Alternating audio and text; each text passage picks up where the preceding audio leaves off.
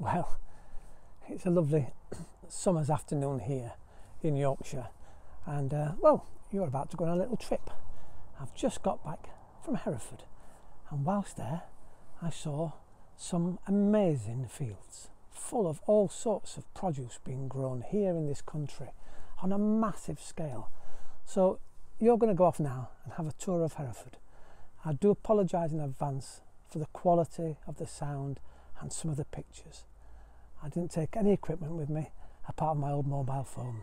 We've captured it, some's really good, some's alright, but you'll get the flavour of the Herefordshire countryside and the things they're growing down there. I was quite amazed. It's funny what you find behind a hedgerow, and that's why I'm sat in front of my sweet corn because down there they're growing maize. Or is it sweet corn? That's the question of the week maize or sweet corn because they're both from exactly the same family. Down here in Herefordshire, at one of the country's biggest, pick your own. And behind me here are tunnels and tunnels, acres and acres of strawberries, blackberries, raspberries, incredible, incredible, acres and acres. As you know, I like to grow my own, but this is on another scale. Here behind me here are acres and acres of hops, fields upon fields of hops. When you come later or earlier next year, none of this is here. The grain frames are here, but the hops are cut down and they've all gone. And you see empty fields. And look at it now, full of life and full of hops. Herefordshire is quite an amazing place for growing lots of different types of foods. Well, as I said, I'm here in Herefordshire, and is it amazing? You drive past these places all the time when I visit down here, and I've never known they've grown sweet corn before. Or is it maize? Well, they're tall. This is what, in fact, mine are doing this at home. I don't know if you can see because the sun's out. They're starting to go funny at the top, and I panicked. I thought they were bolting. But look in here, down here, look, there's the sweet corn coming. Isn't that exciting? And uh, of course, we're in Herefordshire, and uh, oh, Hereford is famous for its brown clay soil.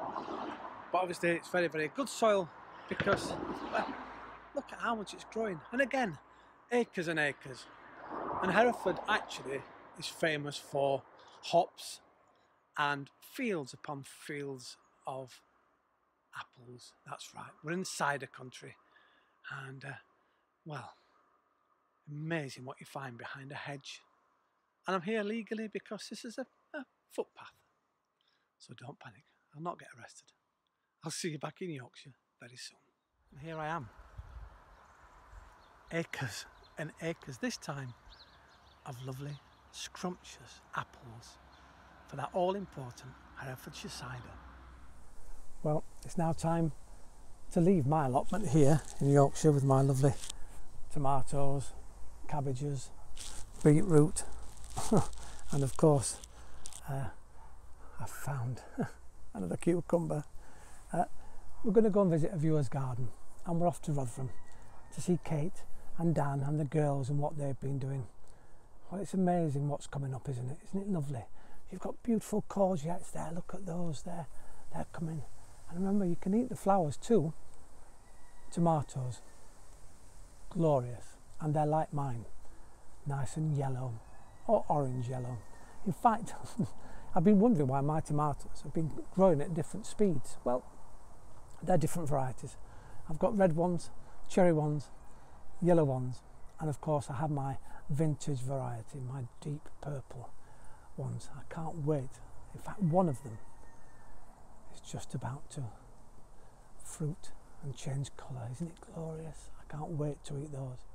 And then, of course, you're growing chilies, which I'm not being very successful at, but you seem to be doing very well. And your peppers, I think, too. And of course, you've planted all beautiful new salad.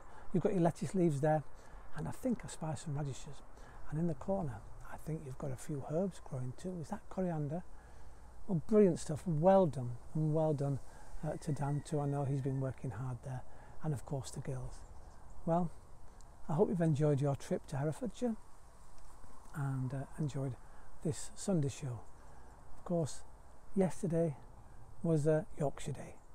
So, from a very proud Yorkshireman on his Yorkshire allotment here, I hope you've had a wonderful week and we'll see you soon on Jeremy's Yorkshire Allotment Adventures, the Sunday Show.